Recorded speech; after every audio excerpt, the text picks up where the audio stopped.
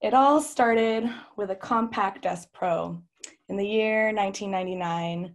The brink of the millennium, butterfly clips and crimping irons, Limited Too and rayon patterns, me on the internet, QTAZN baby girl 622. Before the invention of YouTube, before YouTube sued Napster, who knew in Y2K they would all come to call us millennials? No Doubt ruled my world as Orange County was my bubble. As a brown girl, I would try to, but I knew I will never, ever, ever be like them.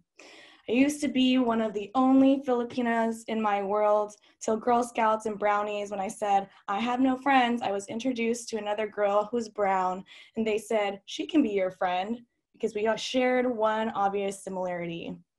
Thank you so much for normalizing my trauma.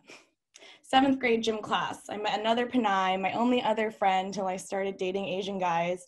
Another friend told me something super important that I wasn't even Asian. You're Pacific Islander, she said. Who am I? Retreat to Wi Fi, hide behind the HTMLs, create a screen name and a profile that'll be better than the skin I can't hide behind. And my lack of pride for my heritage, my history, my life. Save that story to learn at another time. Don't recall being ex- called exotic until I was in college. Never felt quite acceptable till the past the age of consent. Best friends, too many to count. Went behind the screen to hide my self doubt, insecurity between the lines of the words on my Xanga. Customized my MySpace and every single song. Facebook, killed creativity. Why can't we all just get along? Give me back my AIM. Let me give you a fair warning. I'm cunningly thought provoking. My midheaven is in Gemini, but who am I?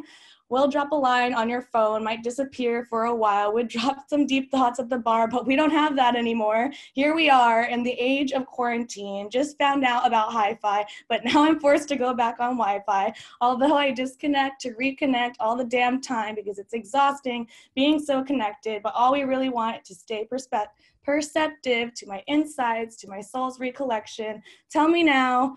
What am I forgetting? To decolonize is to take back what's ours. To decolonize is to remember who we are. So, who am I, you ask? From hi fi to Wi Fi, I am who I've always been Isabel, Mirjana, Gutierrez, Inigo. Go ahead and tell a friend. Thank you.